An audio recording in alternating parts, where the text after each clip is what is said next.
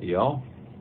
My name's Graham Sharp. I play for the Steep Canyon Rangers, and uh, it's been a little bit of a strange year for musicians. It's been hard to get good news. It's been a little tricky to come by, but we had some come in last winter. We got nominated for a Grammy Award in the Bluegrass Album category, and uh, thank you to all you voting members. Uh, it's a record that we recorded live at Merlefest up in North Wilkesboro, and it's a kind of a love letter to all our heroes and influences here from the great state of North Carolina. So we got people like Thelonious Monk, we got Elizabeth Cotten, we got Doc Watson, we got Earl Scruggs, we got James Taylor, Ola Belle Reed.